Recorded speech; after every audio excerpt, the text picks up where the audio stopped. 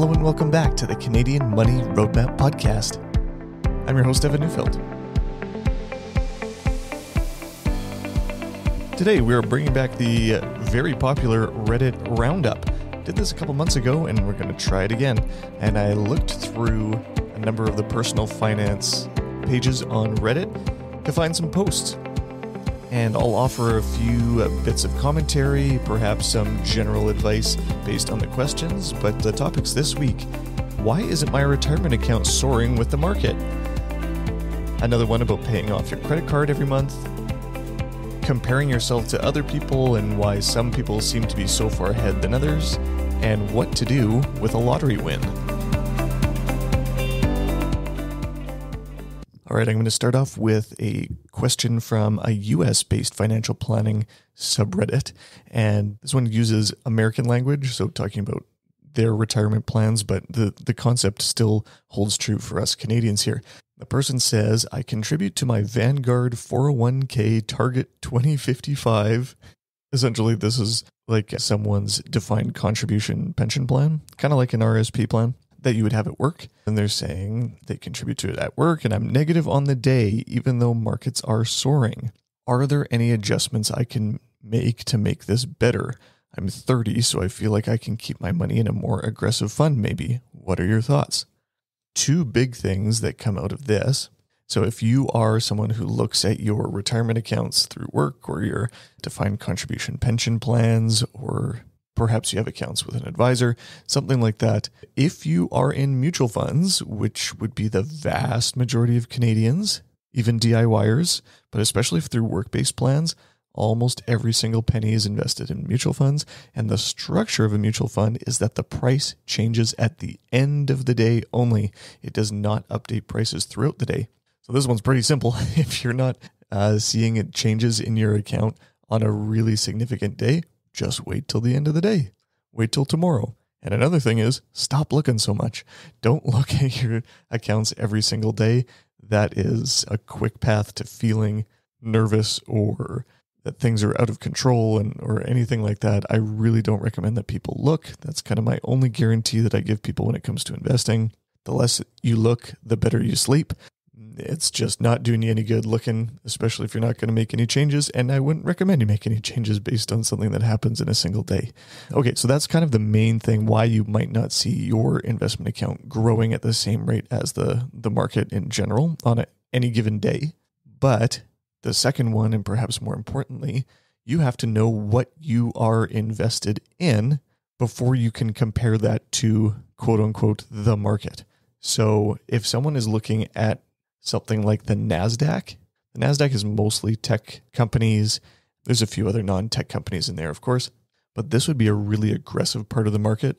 And so if you're seeing the NASDAQ is up 1%, 2% in a day, and yours is only up half a percent or something like that, you might think, oh, I'm not keeping up with the market.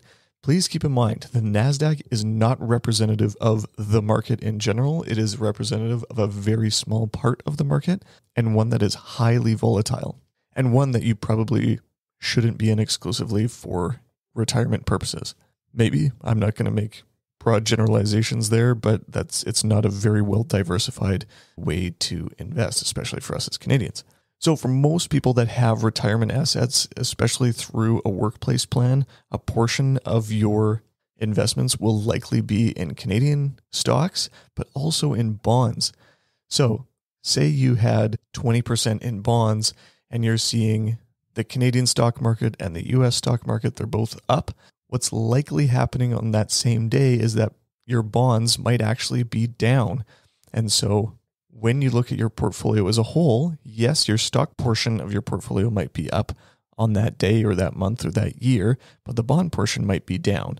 And the opposite is also true, where if you have a rough day, month, year in the stock market, your bonds might actually be positive, And so that might actually soften the blow a little bit, which is diversification, right? So when you have something that is more diversified across asset classes, so broadly speaking, that could be stocks, bonds, and cash, you can't compare that purely to just the stock market or just the US stock market or just the Canadian stock market because that is not how you are invested, right? maybe a portion is there, but you have to keep in mind what you own and what you are comparing to. Good question, but hopefully that answers that. Next one was a post from the Personal Finance Canada subreddit just from a couple days ago. I'll read the post here. I'm a 23 year old female and I've always just paid my entire credit card off every month and it's given me a great credit score. However, I think back to a conversation I had when I was 20 at a family reunion when my 35 year old female cousin mocked me for doing that and said, they know you're just using it like a debit card and that you have to leave 30% on it at all times. She proceeded to text and say in person to other relatives that I'm stupid and naive and I don't know anything about being an adult. So, what's the deal? Is the 30% rule a thing or have I been doing it the right way? Sorry if this is a dumb question. No, it's not a dumb question because there's lots of this kind of what I'll call tribal wisdom or, you know, things that are passed down from person to person or from financially illiterate parent to financially illiterate child that you think is gospel truth. When you use a credit card, please, please, please pay it off every month. So whoever the, the original poster was here, please keep doing what you're doing. and please keep paying off your credit card every single month. That way you don't pay any interest. Lots of people think that if you only pay the minimum amount, that's the amount you need to pay to avoid paying interest. No, that is the amount you need to pay before they take away your credit card. okay. To keep having access to it, you have to pay something every month. They would love for you to not pay it off every month because the interest rates are outrageous. I've seen as high as 29% in some cases. 29%. Just think about that and start doing some math in your own head about how much that would cost you. So, no, you do not need to maintain a balance on a credit card. Credit card companies make plenty of money, but it's not even just from people that leave a balance on their card. Every time you use your credit card, there is a charge to the merchant, so the, the store, the restaurant, whatever, for allowing you to use that credit card. It's a convenience thing and there's a cost to convenience. So in some cases, it's as low as 1%, as high as 5% to that merchant, depending on your card and, and a few other factors. But when you use your credit card, credit card company will make a little bit of money. If you leave anything as a balance on your card at the end of month, they make a lot of money. So please, please, please, if you know anything about credit cards, pay it off every month. If you have access to other types of credit that are cheaper, if you need to, if you are unable to pay off your credit card in a given month, if you have access to a line of credit and you can transfer the balance, maybe take a look at that because the cost of leaving money on your credit card every month is just so extremely high. It is almost never worth it to maintain a balance there for any length of time. So, this is just the purest version of general advice that I could give to anybody is just pay off your credit card every single month. Now, the next one, I'm not going to read the entire post, but the title is Anybody Else on Here, meaning on Reddit, read these somewhat financially secure posts and think, wow, I'm so far behind compared to these people. So they write, turned 30 recently and got interested in investing for my future, but I spent all my 20s living in the moment and having fun. Don't get me wrong, I don't regret it. Spent my time living life by going backpacking to dozens of countries, working in multiple countries, focusing more in depth with hobbies, and of course, working long hours with the work I enjoy. While researching ways to invest on here, on Reddit, I can't help but think how far behind I am. Don't get me wrong, it's not like I'm in a bad spot. I have no debt, $50,000 line of credit available at prime plus 3.4%. All my credit cards paid off up to date, totaling around $35,000 available with a credit score over 800. However, in terms of savings such as investments, I have close to zilch couple thousand for rainy days, if anything, but zero in terms of investments or even TFSA or RSP, which I feel it's awkward looking at with nothing in it come tax time. She goes on to say that she sees people online making more money and investing, and she feels like she's really, really falling behind, might end up changing careers, even though she's happy with where she's at, making the income that she is. Any tips, suggestions about investing, or tips on how to approach a situation like this moving forward? yeah, I, I'll offer a few thoughts here. So, the first thing that stood out to me was something that I haven't really seen before. When someone describes their financial position, she described all of the different ways that she could borrow money and all of the credit that she has available and credit cards saying, I'm not in a bad spot because I have all of this credit available. Like, huh, that's that's interesting. I've never actually heard someone describe their personal finance situation in such a term. Having a credit score over 800, really good start. Having all of her debt paid off, great. Now is not the time to really worry about having credit available or what your credit score is if you don't have anything on the positive end in your name. Okay. Also, the line of credit at Prime plus 3.4, it's not cheap anymore. When Prime was 2%, that was maybe decent. But now that the prime rate is 6.95%, let's just call that seven for easy math. You're looking at about 10.5% on your line of credit. I would almost never suggest that anything over 10% is low cost money. That's that's really expensive, especially on 50 grand. So if you're seeing that as kind of your way to get ahead or maintain lifestyle or anything like that, I'd say that's not a good place to be. Yes, awesome to have that available for an emergency or something like that. But now would be the time to focus on building up some cash. The challenge is that most people that find themselves in this position, you have to be okay with the trade offs that you make in life.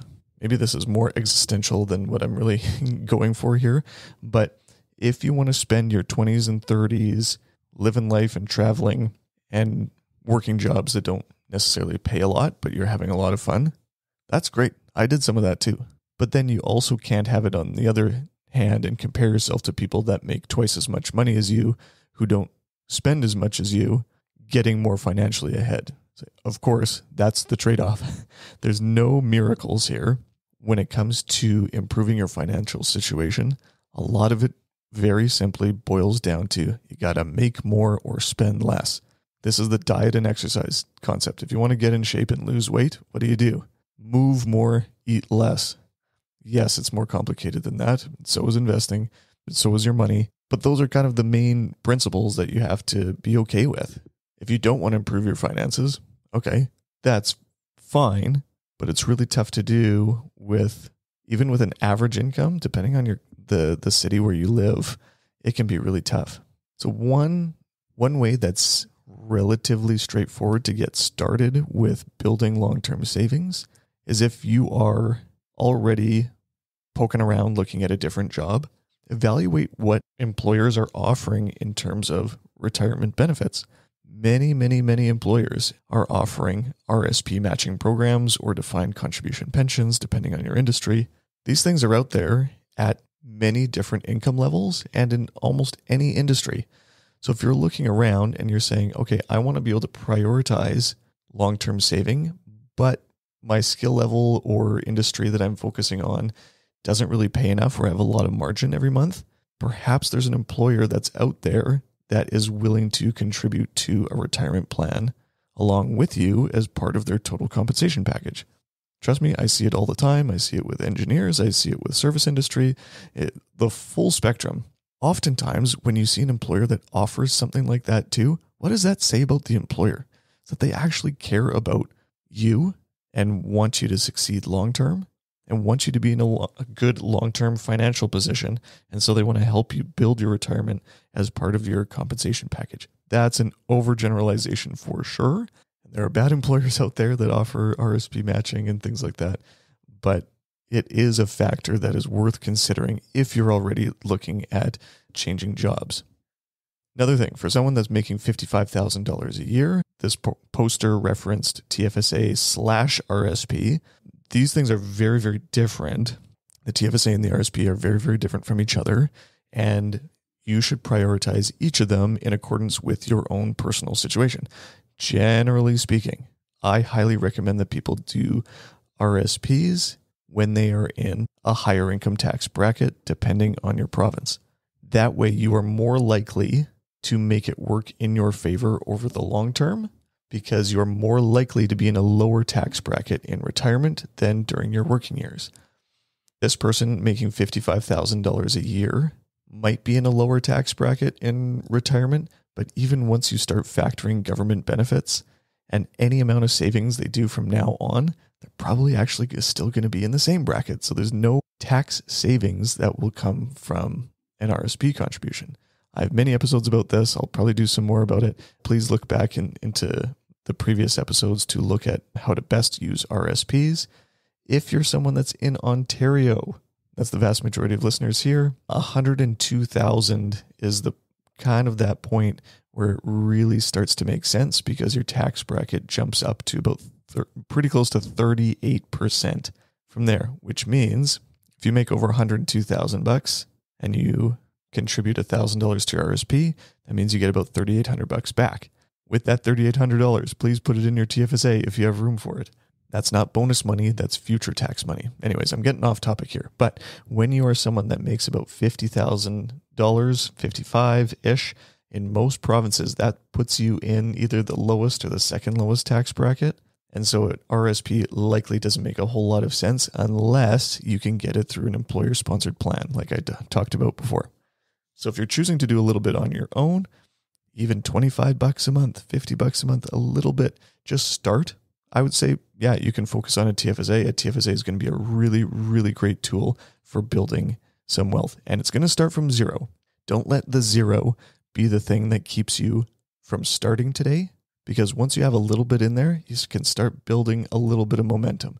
No, it's not going to look pretty for a long time, but the only way to have anything in the future is to start today, even a little bit. I'd highly recommend anybody that is kind of waiting on the sidelines, looking for an opportunity to get started or feeling like someone else is in a better financial position than them, try to find 25 bucks. And you can get that in your TFSA and get investing today. You can do it with a very little small amount like that. But if you can do more, of course, it's going to go quicker and it's going to look better. But, you know, comparison is the thief of joy. So I would highly recommend that people not really pay too much attention to those people on the internet that are describing their own very fortunate financial situation because you don't know who they are and they have nothing to do with your life and they might not be telling the truth and their situation is completely different than yours. Comparing yourself to others rarely feels good. And if it does feel good, that also feels kind of icky. Like if you're starting to feel like you're better than other people, that's probably not a great approach to have either. So when it comes to your money, stay in your lane, get started, lower income, focus on TFSA before RSPs. If your income is in a place where you don't have any wiggle room every month and you're looking around at other jobs, look for an, an employer that offers a retirement package as part of the total compensation.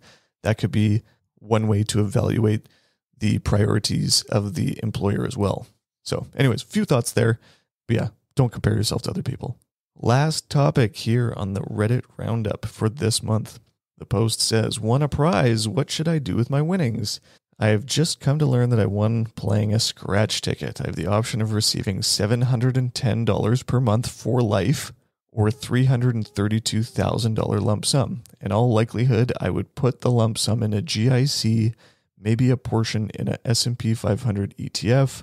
I'm 29 years old, no debt, maxed out all tax advantaged accounts. What makes most sense? I need a financial wizard to explain why I should take the lump sum over the monthly payment, etc. Need to make a decision soon on this. Okay, I am not a financial wizard, or at least I don't think so. However, this is the kind of math that us as financial planners run into all the time because we evaluate different things and try to come up with cash flow scenarios and whatever. So, the way that you could think about a situation like this and try to put it into context is to combine the two options and try to figure out the missing variables. So, the present value, so the, the option that they could have right now is to take $232,000 up front. We call that a present value. Okay. I'm behind the scenes here. I'm using something called a financial calculator. You can do this through Excel or numbers or whatever spreadsheet program you use on your computer or your phone. Or if you wanted to Google something called a financial calculator, you can use that there and kind of follow along with me.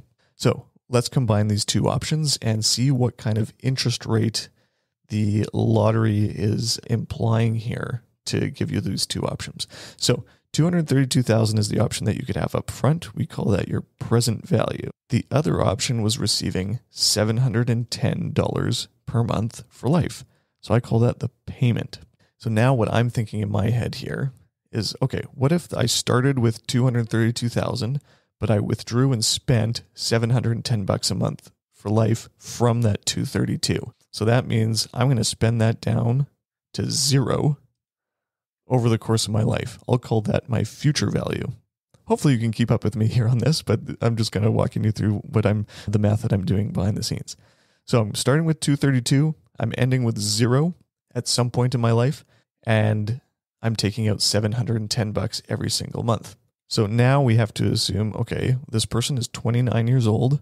How long are they going to live? Let's use a round number of 90. Okay. So if they're 90 minus 29, that means they're going to live for another 61 more years. And then in terms of months, because again, we're taking 710 bucks per month until age 90, that means you got 732 times you're going to be withdrawing that 710 bucks per month.